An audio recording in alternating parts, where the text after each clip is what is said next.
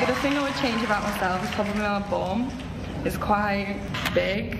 I'd like it a bit more, a bit more perky. It's just a big ass. I could get my hair done every day, my nails done every day. I love that lifestyle. I had a beauty salon in England that I owned. Be your own kind of beautiful. I'm from Manchester in the UK. I've lived in Australia now since February. I'm like half English, half Maori, adopted Aussie. Perfect. I definitely prefer Australia, the whole lifestyle, the Aussie dream that I'm living in. I'm not financially stable at the minute, but luckily for me, I've got my dad.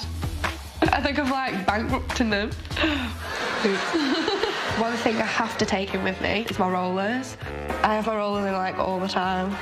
My bad habits would be that I don't shut up. You can tell straight away what I'm thinking because I have this face.